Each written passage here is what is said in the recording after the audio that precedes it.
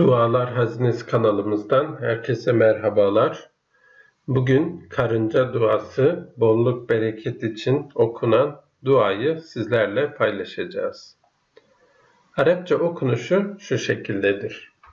Allahümme ya Rabbe Cebrail'e ve Mikail'e ve İsrafil'e ve Azrail'e ve İbrahim'e ve İsmail'e ve İshak'a ve Yakube ve Münzilel Berekati ve Tevrati ve Zeburi vel İncili vel Furkan ve la havle ve la kuvvete illa billahil aliyyil azimi.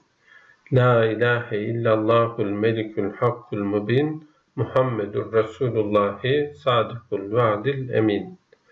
Ya Rabbi, Ya Rabbi, Ya Hayyu, Ya Kayyumu, Ya Zel Celali vel İkrami, Es'elüke ya Rabbel arşil azimi en yerzukani halalen tayyiben bir rahmetike ya erhamer rahimin yemliha mekselina mislina mernuş debernuş şazenuş kefeştateyüş kıtmir.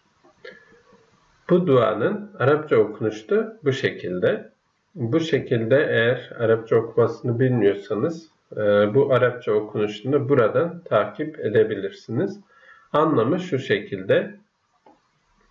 Ey Cebrail'in, Mikail'in, İsrafil'in, Azrail'in, İbrahim'in, İsmail'in, İshak'ın ve Yakub'un Rabbi Allah'ım. Ey bereketleri indiren Tevrat, Zebur, İncil ve Kur'an'ı indiren Rabbim. Güç ve kudret yalnızca büyük ve yüce olan Allah'a aittir. Apaçık hak ve yegane malik olan Allah'tan başka hiçbir ilah yoktur. Sözünde sadık ve emin olan Hz. Muhammed sallallahu aleyhi ve sellem Allah'ın elçisidir. Ey Rabbim, ey Rabbim, ey diri ve kaim olan, ey celal ve ikram sahibi, ey büyük olan arşın sahibi, senden beni helal ve hoş bir rızık ile rızıklandırmanı istiyorum. Senin merhametinle ey merhametlilerin en merhametlisi. Debernüş, Şazenüş, Kefeş, Tateyyüş, Kıtmir, Yemliha, Mekselina, Mislina, Mernüş, Ashab-ı Keyf'in isimleri. Bu Bereket duası genelde karınca duası olarak da bilinir ve evlerde bulunur, e, iş yerlerinde de bulunur. Bereket ve e, rızkın artması için bu dualar okunur. İsterseniz bu duayı dinleyebilirsiniz de her gün bu videoyu dinleyerekten de e, iş yerinizde veya evinizde bereketin olmasını sağlayabilirsiniz. Yani Evet bizler çalışıyoruz, gayret ediyoruz ama dua ile e, bu gayretimizi e, taçlandırmış oluyoruz aslında.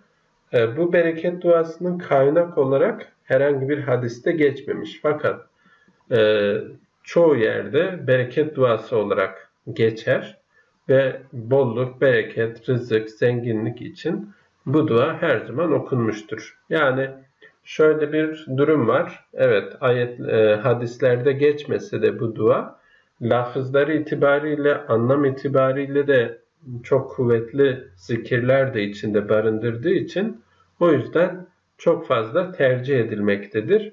E, Birçok yerde bu bereket duasını görebiliriz. Şimdi bu bereket duasının Arapçasını tekrar okuyayım size.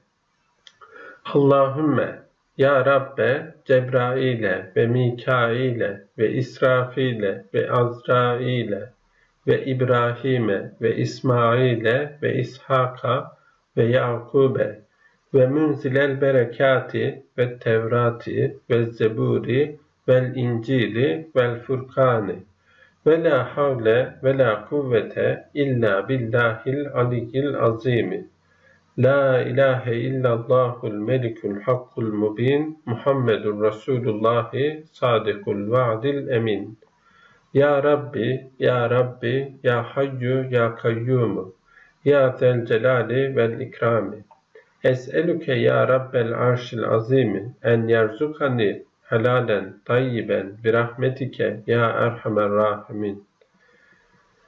Bu son kısımdaki e, Ashab-ı Kehf isimleri de e, genelde okunur. Yani bolluk bereket içinde okunur. E, mesela Ashab-ı Kehf isimlerinin çocuk üstünde taşınması da e, iyi görülmüştür, tavsiye edilmiştir. Mesela huysuzluk yapan çocuklar üstünde e, çocukların daha uysal, daha rahat uyumasını sağlamıştır. E, bereket anlamında da kullanılmıştır yine. Kıymetli dostlar, bu videomuzun da bu şekilde sonuna geldik. Eğer bu videoyu faydalı buluyorsanız beğenip paylaşarak başka insanların da istifade etmesini sağlayabilirsiniz. Ayrıca bu video ile ilgili düşüncelerinizi, görüşlerinizi de yorum kısmına yazarsanız mutlu oluruz. Yeni videolardan da haberdar olmak için kanala abone olmayı unutmayın. Bir sonraki videomuzda tekrar görüşmek üzere. Allah'a emanet olun.